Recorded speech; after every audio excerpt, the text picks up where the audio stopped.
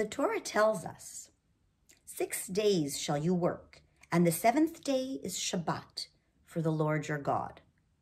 Shabbat is the name of the seventh day of the week. Shabbat also happens to be the only day of the week that actually has a name in Hebrew, literally translated as sit or dwell, implying the idea of slowing down.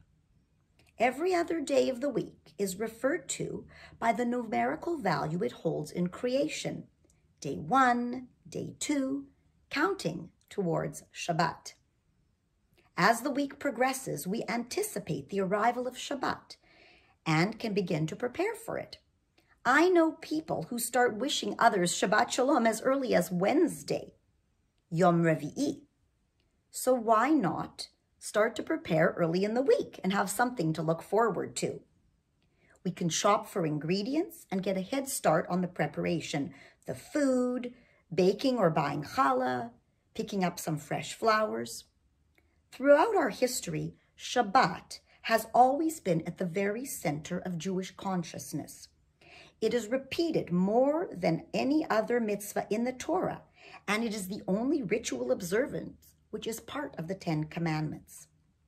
What is it about Shabbat that makes it so important to the Jewish people, so powerful to the individual, and yet so mystifying to those who haven't experienced it yet? The Midrash says, Midrash or legend, when the Jewish people were gathered at Mount Sinai to receive the Torah, God told them that heaven would be their reward for keeping the commandments. The Jews asked God, how are we supposed to know what makes heaven so great if we haven't been there? God decided to give the Jewish people a taste of the world to come. Shabbat, a taste of heaven on earth. On Shabbat, the traditional Jew moves out of secular time into holy time.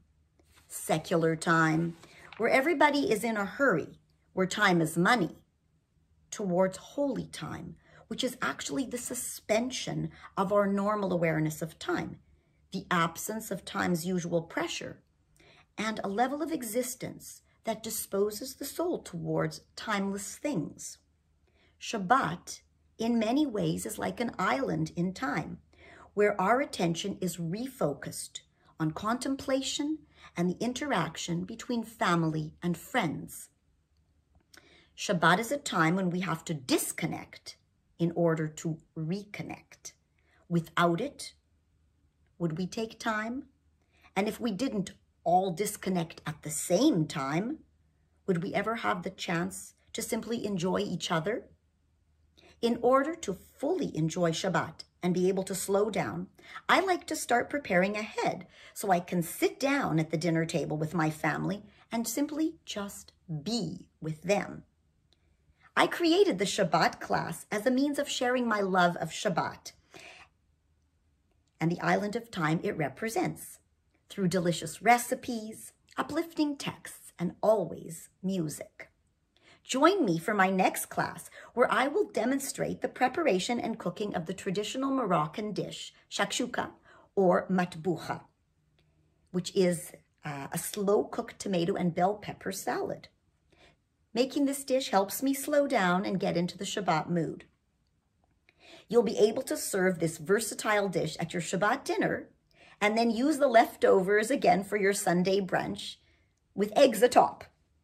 I hope you'll tune in and watch this pre-recorded video and chat with me on the live stream with the other viewers.